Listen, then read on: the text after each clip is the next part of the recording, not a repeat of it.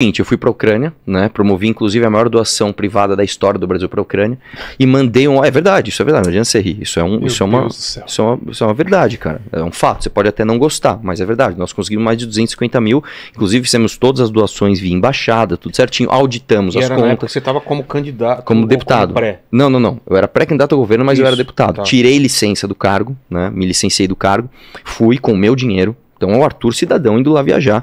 E na volta, né, mandei um áudio infeliz num grupo privado, falei o que não devia, o áudio vazou e eu fui caçado. E é óbvio, todo mundo sabe que eu não fui caçado por causa disso, né? Todo mundo sabe que eu fui caçado porque eu cortei salário de deputado na pandemia, isso nenhuma casa legislativa na história fez.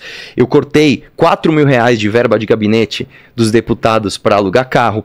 Eu cortei o auxílio peru de todos os funcionários da LESP. Todos. Você imagina você entrar num prédio dela, que tem 3 mil e não sei quantas pessoas que trabalham lá.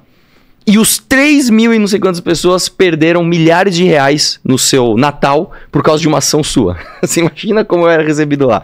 Cortei o contrato de publicidade da LESP de 30 milhões de reais.